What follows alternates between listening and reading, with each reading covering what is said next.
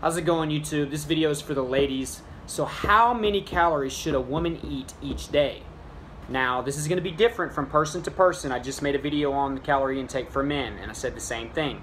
This is different for each person. Uh, it can depend on different factors like how energetic you are, um, if you're an athlete, uh, do you not do much, do you have a physical job, how old are you, you know, all these things come into play. So the roundabout number for a woman average size and everything would probably be about 2,000 calories. And I've looked at different sources and I've kind of figured this out.